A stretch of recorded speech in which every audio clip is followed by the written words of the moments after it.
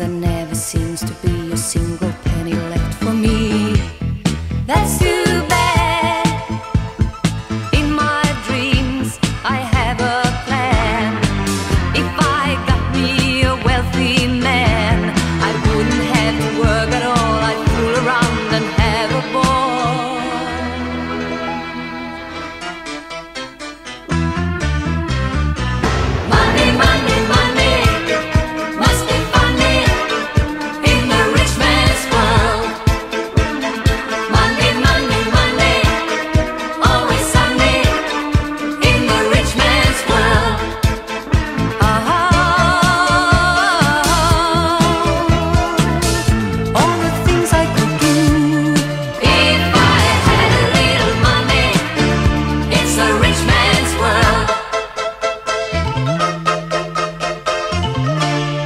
rich man's world.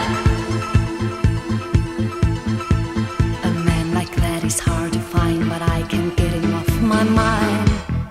Ain't it sad? And if he happens to be free, I bet he